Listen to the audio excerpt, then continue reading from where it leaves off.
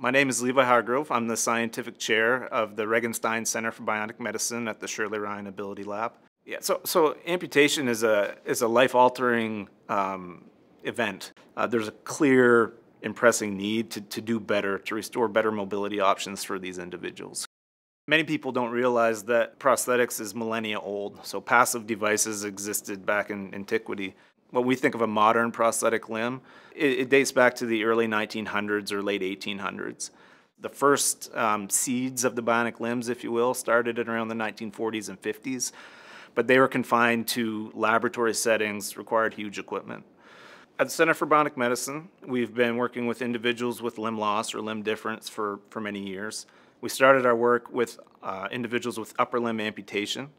Uh, and when we've had great success. Individuals with lower limb amputation uh, outnumber those with, with uh, upper limb amputation by a factor of 10. So there's a huge opportunity to provide advancements in restorability for a large population. In the field, um, people recognize how challenging and difficult it is for individuals who have had two legs amputated or a bilateral amputee. Uh, simply standing up out of a chair, very difficult for individuals to do. Many are confined to wheelchairs. So we've been working towards this objective for around 15 years now. This was the, the first um, bionic leg that we performed research on. It has a socket attached to it, so this is the interface between the person's limb and the actual device. It's kind of form fit to their specific um, leg.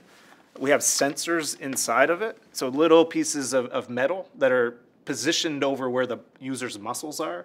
And these little sensors, they're, they're like antennas that we can use to measure their, their muscle contractions. So your muscles generate a little bit of electricity when you contract them. So we can sense them with these sensors and then relay that information down to a leg.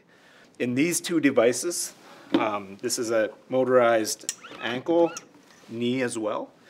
Um, these two are twins. Um, we actually call them Mario and Luigi because we're geeks um, and we're proud of it. And then this is the newest iteration of, of the device. There are still wires hanging off the ankle, but you can see the knee is starting to look more like what you might expect a product to look like.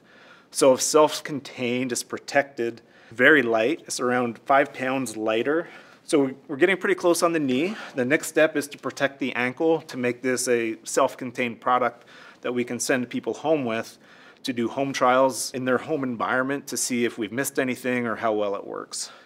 So the first individual that we had applied this technology to, um, he was here to, to be um, fit with commercially available legs.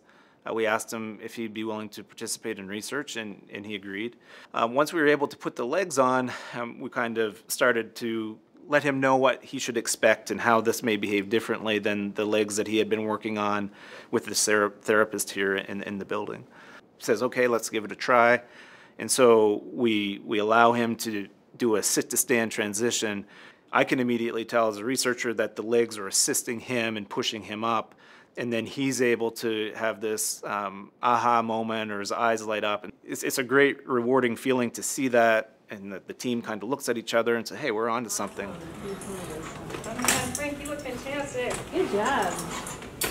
So if you have two legs, you could control them independently, meaning the information in the left leg only has sensors from the left leg to control. The right leg only has information about the right leg to control. That's not how we control our body.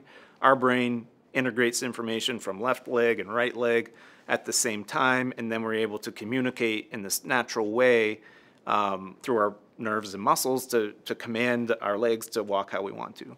And so what we thought is, well, we're, we're now at the place where we can have these two legs communicate to each other um, and respond to the user at the same time, which, which is no, no easy task. So what we do is we, we have a wire um, at this point, and so we will connect the legs together so that they can communicate with each other. The left leg has information about the right leg, the right leg has information about the left leg.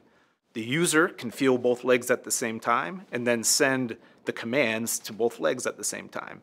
So we have left leg talking to right leg, both legs talking to the user, the user talking to both legs through their EMG signals or their hip interactions or other methods. By using bionic limbs with, with motors in them, we can provide the energy to push them along and we can use control techniques to safely guide their steps, um, restore different activities. An analogy that, that I use sometimes is kind of like a, a self-driving car, right? And can you imagine in the future if there was a self-driving car, how easy it might be to, to get around? So right now we're at the point where we're trying to develop these intuitive control systems, like the, the driving system of a car that allows a person to walk in an easy, intuitive, seamless manner. What you don't realize are that how, how limited the commercial options are in many situations. And so if someone has never stood up before and they have a leg that responds intuitively and seamlessly to their, their commands, they're like, yeah, yeah, this is how it should work. In the near future, we intend to um, expand the capabilities of these devices and restore even more ability to this user and others by allowing uh, stair climbing and stepping on curves, uh, pivots, cuts, turns, walking up and down slopes and uneven terrains. So these are all on our um, development plan and we hope to test it in, in the near future. So it'll take a, a lot of work, but our team is definitely up, up to the task and we hope to have some tremendous improvements to, to show even more advances in the future.